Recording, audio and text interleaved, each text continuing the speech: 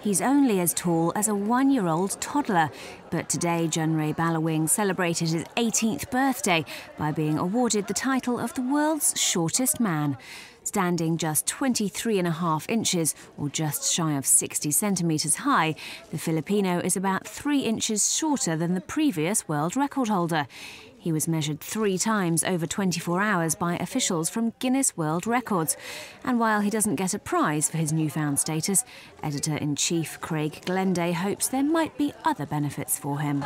A previous record holder had even medical care and attention given to him. He had free surgery funded by the USA. So there are benefits to being a record holder.